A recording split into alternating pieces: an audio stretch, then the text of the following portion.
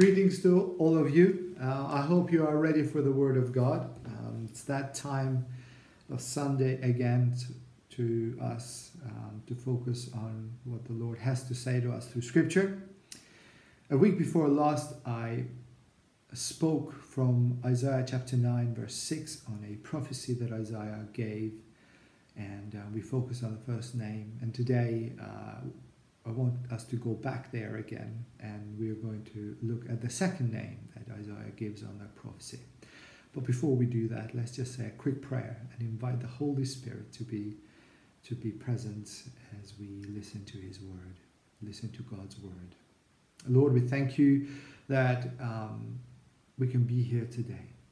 And Lord, I pray that as we draw closer to your presence, Lord, as we open scripture, I pray that your presence, your spirit, will be with us. It will fill us afresh, O God.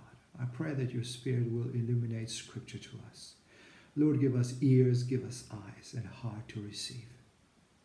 Lord, we need your word. And Lord, I pray that as this preaching is being shared, Lord, I ask that you will give us, oh Lord, ears to hear and give us the ability to draw encouragement and strength for our life as we live for a time as we pass passing through this third pandemic. Lord, may your word, as it says in Scripture, be a lamp unto our feet. Lord, may Scripture be a light into the darkness that is all around us. I bless your word today, Lord. In Jesus' name I pray. Amen. Amen. Amen. Hallelujah. So, as I said, um, again, we're going to Isaiah chapter 9 and from verse 6 there. Um, and I do want to emphasize that this was a prophecy that Isaiah gave many, many, many years before uh, Jesus was born. And it is a prophecy because at the time that Isaiah gave this prophecy was a very crucial time if you look at chapter 8 of the book of Isaiah, verse 22 and onwards, around that area there, you will understand that the people of Israel, they were living through some great distress and a great darkness. And yet, the prophet is trying to, to bring a hope, to, to bring them to this understanding of a bright and beautiful future that God wants to present to them. He wants to show the Israelite how God is going to do something amazing, how he's going to redeem Israel and set the world right, if you like. But when you look at the heart of this message, um, is simply the arrival of a baby. Literally, um, in, in, the, in the passage, beginning of verse 6, it says, For to us a child is born. And then he says, To us a son is given an unexpected claim, an unexpected um, announcement from a prophet, if you like, in the time that they were going through some great distress and darkness. And this is what the prophet gives them. This is the, the hope that prophet wants to give them. This is how he presents it. And I guess we can sort of um, look in our own circumstances. We've just entered um, the third lockdown here in England, pretty much uh, the UK. And if we look up to the Lord, what would the message be that the Lord would want to give us? I think it would be similar. It would be that He wants us to focus to what Isaiah is saying. He wants us to focus on Jesus because in Jesus we can find the answers that we need. In Jesus we can find the strength that we need to move from this darkness, to move from these difficult times and not lose hope. Hallelujah. So, this is what Isaiah again wants to give them an encouragement. But question comes what's so special about this child? Who will this child be? What will this child do? And Isaiah um, doesn't really give a great description on that prophecy either. He just gives a few names. To be exact, four names. We looked at one last week, Wonderful Counselor, and now that we are focusing, it's a mighty God. Hallelujah. This child that will be born is a mighty God. We as Christians, now we can confess that to be Jesus. Jesus shall be called, or is called, a mighty God. It's pretty bold, pretty bold name, isn't it? I mean, you can imagine um, you being invited to a birthday party and a card comes to you, and you open that card and you look into the uh, invitation, and here it goes. You know, a baby is born 25th of December. This is how tall, this is how heavy, and this is how big the baby is born, and so on. And and and the name is not Jeff or Bob or Gavin or anything like that. Um, it's it's a mighty God. Pretty bold name. You kind of probably be taken by surprise. What a name is that? In especially in our culture, you don't necessarily you don't necessarily hear such names. But exactly, friends, I think this is what we need to try to understand. Try to understand that that is what Isaiah wants to bring to our attention. That what God is about to do is nothing ordinary, is nothing normal, is extraordinary. Exactly that. Um, but also, what I want us to understand before we continue on. Do you think that Isaiah was trying to say by naming this child mighty God that this child will be the mighty God? I don't think so. I don't think that's exactly what Isaiah meant by it. You see, often in the Old Testament, people were given names, special names with great meanings, which described what God would do through that child. And you have a number of examples, if you like. I mean, if you look in the name of Hezekiah, we know uh, as a character in the Bible, Hezekiah, the meaning of that name, it means the Lord is my strength. You can look at the name of the prophet himself, Isaiah. What does that name mean? It means the Lord has brought salvation. And friends, what are we looking right now?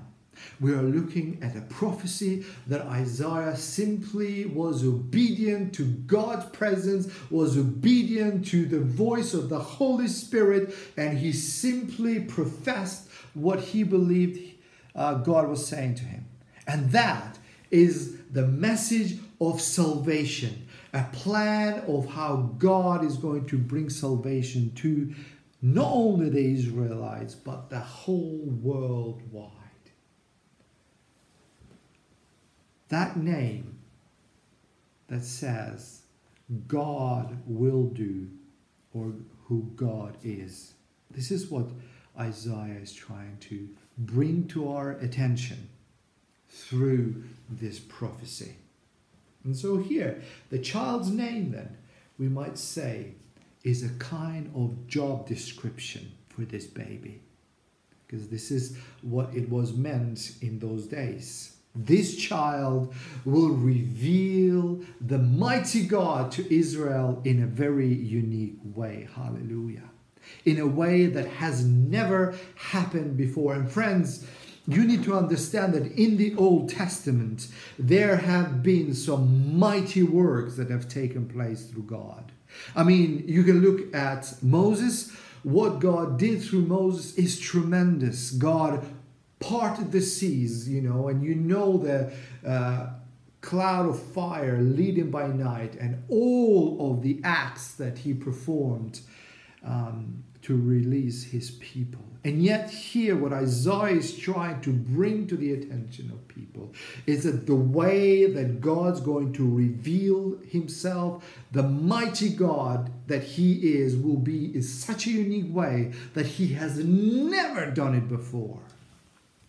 Now, as Christians, we can confess that in the light of the progressive theology, progressive revelation of Scripture that we now know that child is the same about Jesus Christ. That prophecy is all about Jesus Christ.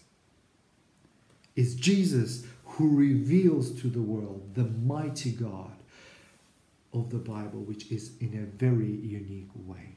You remember what Jesus said to Philip in John chapter 14, verse 9? He said, Anyone who has seen me has seen the Father.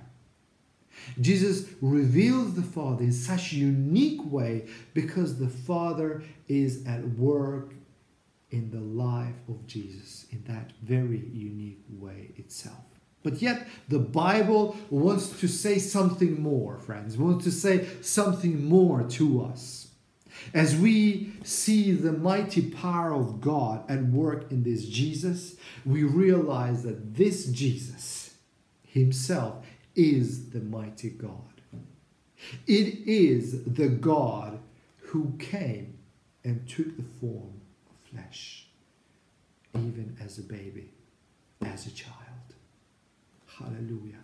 And as we take this Isaiah's name, if you like, oh, this child, will be will be our starting point, and um, we will develop more on the meaning of a mighty God.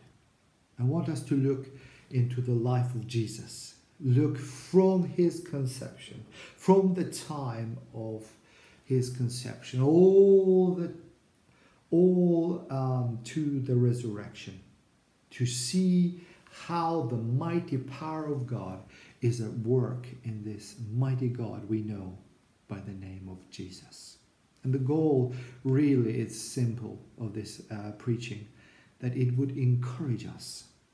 It will encourage us to look and to rely on Jesus as the mighty God and to do, as Paul says, far more abundantly than all that we can ask or think according to the power that is at work within us. Hallelujah. As we look at the very birth or the conception of Jesus, we see how it's overshadowed by the divine power itself. Right at the start, we know how Jesus um, the conception was formed through uh, a Virgin uh, Mary. And that itself, it is um, impossible for us to understand. That in itself is something that has never happened before and never will ever happen again. It is something that um, everyone will understand we do not need to specialize in anything to understand what has happened. It's simply a miracle. It's a supernatural act of God, which is impossible for us, but very possible for Him. So, right at the start, we see the power of God overshadowing, the divine power of God overshadowing this baby, right at the conception, if you like.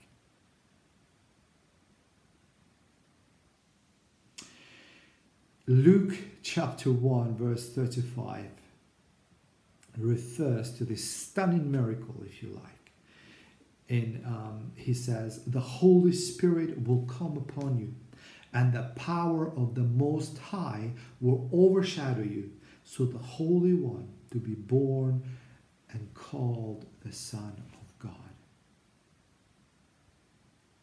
Right at the start, at the conception of Christ in Mary's womb, God did something, friends, that he had never done before. And he will never do it again.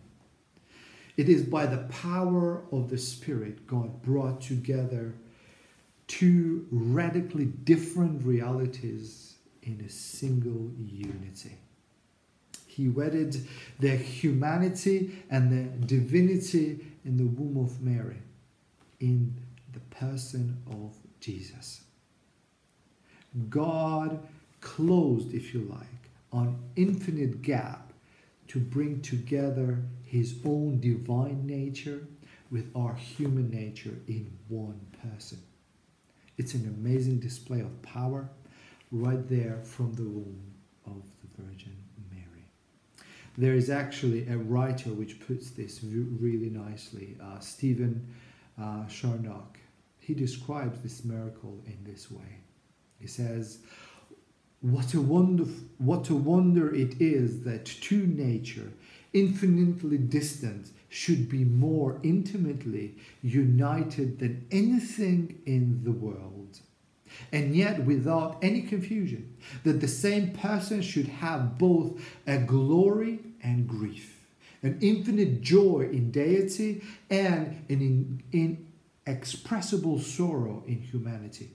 That a God upon a throne should be an infant in a cradle, the thundering creator be a weeping babe and a suffering man, are such expressions of mighty power as well as coincidence and love that they astonish man upon earth and angels in heaven. Hallelujah. Hallelujah. What a mighty power of God we can see um, in Jesus' birth. And one thing that is exciting is that it didn't stop there. This continues throughout the life of Jesus. Throughout the life of Jesus, we see the manifestation of the power of the mighty God. In fact, we can look in chapter 4 of the Gospel of Luke um, when Jesus started his ministry. He says that um, the power, in verse 14, the power of the Spirit was upon him. And he began to proclaim the gospel. This was uh, all about himself. And in the synagogue, um, in the Sabbath, he took the scroll of Isaiah and he opened to chapter 4 from verse 18 and onwards. And you know um, what the passage says. Due to the time, I will not go into read it, but he speaks about how God has anointed him to preach the good news, to proclaim the gospel to the poor, and set free the prisoners, and bring healing to the broken heart, and so on and so and so forth. Um, and it was his life and ministry that were unlike anything else that had, that anyone had ever seen. Um, and they came to such demonstration and power. Again, continue. Luke continues um, to tell us and tell everyone who saw Jesus while he was casting out demons and performing miracles. He says in verse uh, 36 that they were amazed and said to each other, what words are these? With authority and power, he gives order to impure spirits, and they come out. And that's because Jesus was teaching with such clarity, demonstration of power. Everyone was following him. On one occasion, you know the story of, of um, a, a, woman who was uh, suffering with bleeding for 12 years. And when she, and that's found in Mark 5.25. Um, and, and one occasion, she managed to come close to Jesus and touch Jesus. She touched him, but she was full of faith. And that moment, scripture says that power went out of Jesus to her and touched her. And Jesus stops and says, Who touched me? That woman was healed just because she touched the clothes of Jesus. And we see this happening, friends, every time when Jesus went to our fallen world, if you like. He was constantly met with opposition, whether in the form of sickness, spiritual ignorance, demonic possessions, or even death itself. Yet, as the Gospels reveal to us, we see the power of the mighty God constantly at work in and through him, pushing back the forces um, that were at work in the fallen world indeed. And we can, of course, easily say that um, the power of God is easily seen in the life of Jesus and especially in his miracles and his healings. But what about his death? What about his execution at the hands of the Romans? You see, many of us might say that the true power was um, shown by Pontius Pilate. That's where the real power, when he sentenced Jesus to death, not Jesus, who was led as a lamb to slaughter with his hand and feet nailed into that crucifixion, into that cross, if you like. Well, consider what scripture says about what the mighty God did, the power of the mighty God through the cross of Christ. I want to read to you um, from Col- uh, Colossians chapter 2, verses 13 to 15. This is what God calls true power.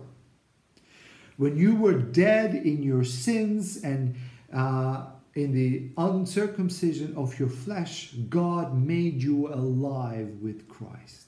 He forgave all our sins, having cancelled the charge of our legal indebtedness, which stood against us and condemned us. He has taken it away, nailing it to that cross.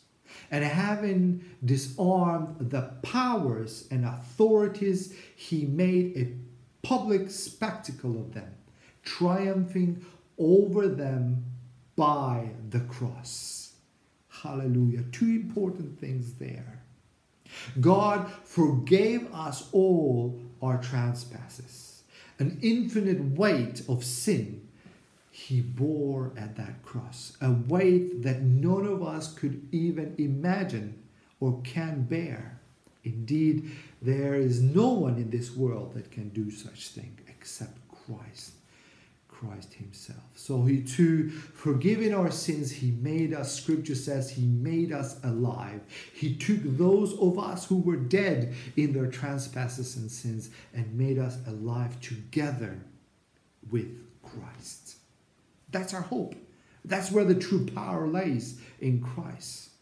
An amazing display of resurrection power in our own souls. But the second thing, that's not the all. According to that passage, that's not all what happened. More than that, he disarmed all the spiritual forces that are arrayed against us, friends. So that while they were still aimed and shoot their guns, if you like, um, at us, now they simply are firing only blanks. And Paul says in Romans 8, chapter 1, that there is no condemnation for those who are in Christ. All of these powers have been stripped away through the power of the cross of Christ. And there is no condemnation for all those who believe in Christ Jesus. Hallelujah. Hallelujah. That is another manifestation of the true power. That is another manifestation of what a mighty God is revealed in Jesus' death and resurrection. But according to Paul, another great way of how God manifests his power as a mighty God is by empowering his son when he declared Jesus to be Son of God in power. Paul describes the cross as the power of God. You can find that in 1 Corinthians 1.18. And of course, um, this message is absolute foolishness to all of those who do not believe. But for those who do, friends, for all of those who claim to be believers, for all of those who claim to be in Jesus Christ, Christ is the power of God and is the wisdom of God, as we also looked lastly. Yet, as Paul says it, if we stopped here, only at the crucifixion, we'd be left with lopsided view of things. Paul says that if Christ did not raise from the dead, we would be the poorest of this world. Because all of the things that had happened, all that he had promised, would have meant, absolutely nothing. So we need to press on, if you like, in the life of Jesus to his resurrection because that's where the whole power is. In the third day, God raised Jesus from the dead. And we see the power of the mighty God on display a supreme power. Now, consider um, what Paul tried to tell us in, in Romans from chapter 1, if you like. Um, he begins by um, rehearsing of who Jesus is. So he first tells us um, of his messianic inheritance or pedigree. He starts with his genealogical link to the line of David, Israel's greatest king. And he points to the life as his earthly life of Jesus. And then, very smoothly, um, Paul continues um, to to speak to uh, about Jesus, how he is enthroned as a Messiah through his resurrection from the dead. In verse 4 of chapter 1 in Romans, he said, He is appointed the Son of God in power by his resurrection from the dead. And there has never been any greater demonstration of power than what God raised Jesus from the dead and declared him to be the Son of God in power. That is an amazing truth, friends. But here is something that is mind blowing. Something that you and I can take power and strength from, encouragement from. Paul teaches us that um, this power that raised Jesus from the dead, this power that was manifested in the resurrection of Jesus, this same power is now at work in all of us who believe. All of those who believe in the name of Jesus, all of those who profess Jesus to be their Lord and Savior, the same very power that raised Jesus from the dead, that was manifested at the resurrection of Jesus, lives and works in us. I know that it is so hard to believe. And this is why Paul, when he was speaking to the Christians in, in Ephesus, um, he prays for them that they could get their heads and their hearts around to this breathtaking truth. Let me just read that passage, this powerful passage to you. It's in Ephesians chapter 1, verse 16 to, to 20. Paul says this For this reason, ever since I heard about your faith in the Lord Jesus and your love for all God's people, I have not stopped giving thanks for you, remembering you in my prayers. I keep asking that God of our Lord Jesus Christ, the glorious Father, may give you the spirit of wisdom and revelation so that you may know him better. I pray that the eyes of your heart may be enlightened in order that you may know the hope to which he has called you, the riches of his glory, inheritance in his holy people, and his incomparably great power for us who believe. That power is the same as the mighty strength he exerted when he raised Christ from the dead and seated him at the right hand of the heavenly realm. Hallelujah. What a beautiful truth that is. And Paul, he says, with other words, I know how difficult it is, but I am praying constantly. I am not stopping and praying. Ever since I've heard that you have this amazing excitement and faith about God, that God would give you the wisdom, that He would open your minds and He would open your hearts to this breathtaking truth to this power that is within our hearts. That very same power that God exerted in raising Christ from the dead and that he has seated him in the, in the right hand in the heavenly reign. That same power The resurrection power is at work in you and is at work in me. If you are a believer, the same power that raised Jesus is now at work in you to do immeasurably more than all you can ask or think. It's mind blowing, isn't it? But it is true. It is true what God is telling us. If you, you know, whoever is listening to this sermon, us as Christians in Brownhill Road Baptist Church or others who may not um, know quite who Jesus is, we need to remember, friends. We need to boost that energy that it is in us. That that power of God is in us to do immeasurably more than we can think or we can do. We need to be aware, indeed, that the same power that gave Jesus the body, that lifeless corpse, if you like, gave them life. That same power is in us. Hallelujah. Hallelujah. I find it very exciting. I find it very exciting to look at who Jesus is, to remind of what a privilege it is for us to profess that we belong to such amazing God. And I think this is the message that Isaiah wants to give to those people. All what God has in store for you has never happened before.